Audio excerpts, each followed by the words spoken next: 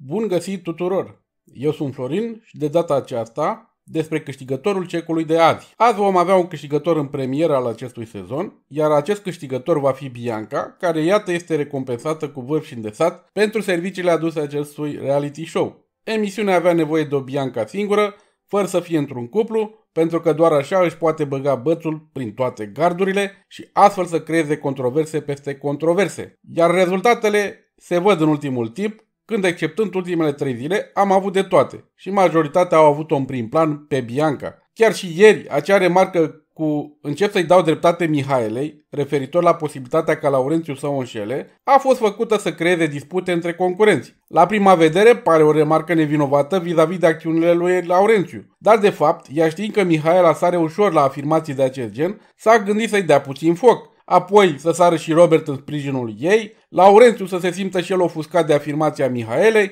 și astfel, iată cum ia casa foc de la o remarcă atât de nevinovată. Doar că ea a făcut o mică greșeală, pentru că, da, iată mai face și greșeli, a lovit și în prietena ei Patricia, pentru că apoi, după ce s-a terminat conexiunea, nu mai știa cum să-i ceară scuze. Sunt curios cum vor reacționa și prietenii ei, în special Radu, care iată rămâne singurul concurent din cei trei ai sezonului 1, care încă nu a câștigat cecul în acest sezon. Tocmai el, care este vechi, consideră că a avut o frumoasă poveste de dragoste. Ba chiar și emisiunea are succes în mare parte și datorită show-ului pe care el îl face. Să nu câștige și el un cec? Sau cine știe, poate că după Bianca urmează el, deși nu prea cred. Azi va fi o gală fără eliminare, încă o săptămână relaxantă pentru concurenții noi, dar pentru unii dintre ei zilele deja sunt numărate în casa iubirii. Cam atât momentan, până data viitoare, vă doresc o duminică minunată!